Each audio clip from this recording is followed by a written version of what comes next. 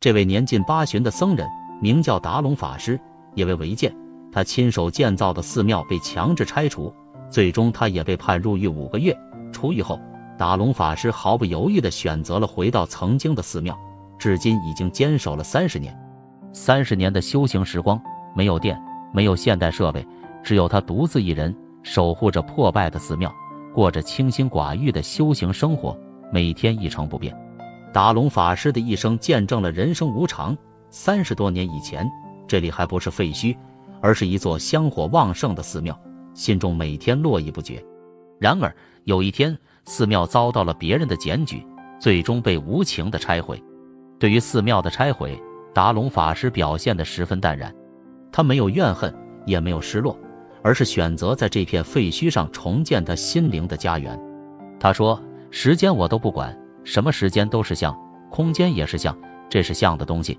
时间是过去、未来、现在，我都不管，因为成住坏空，寺庙会坏，我也会死，这是相，我不执着，也不烦恼，也不失落。达龙法师这样的胸怀，正是一位真正修行者的特有品质。这片破败的寺庙成了他灵魂的家园，他成了这片废墟的一部分。每一个日出日落，都是他内心修行的见证。达龙法师对来访者讲述了这座寺庙的历史。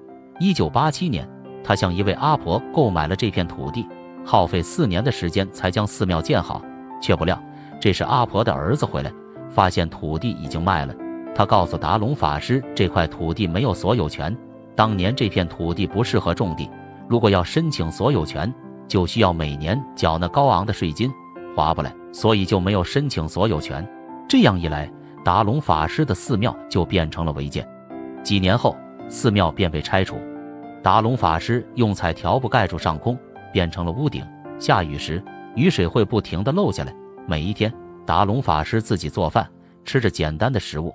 他说：“我吃东西不想好吃不好吃，不想这样子，心里不会动念。如果你去区分它好吃不好吃，那我就有相，有分别心就不行，这样就不是修行了。”每天他都会下山两趟。散散步，天黑之前回到寺庙，然后洗澡和洗衣服。之后他会运动一下。天黑之后，借助油灯和手提灯，达龙法师开始诵经。诵完经之后，他才开始吃晚饭。在睡觉之前，他会刷好牙。在夜里，寺庙很黑，也很安静，只有虫鸣的声音。打好地铺，关了灯，达龙法师开始入睡。寺庙残破的窗户在无声地述说着岁月的故事。达龙法师说。从三十岁到现在，他已经很少做梦了。第二天，达龙法师的儿子给他送来了食物。每隔一段时间，他的儿子或者其他信徒就会上山送来食物和其他用品。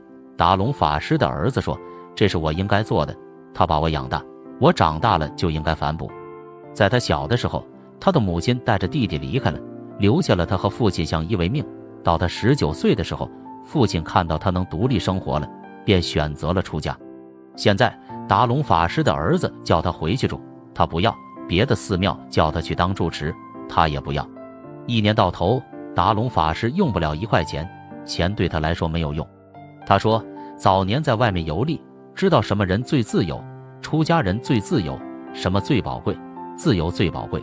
他会将佛像周边长高的杂草清理掉，一手建立的圣地被无情的拆解成断壁残垣，但他依然坚守不离开。这考验一名修行人的无量心境。世俗人看到的是表象，但在修行人的眼里，遍地开满了莲花。他知道一切都是无常的，有人来，也会有人离去，而他将永远守在这片废墟的心灵角落里。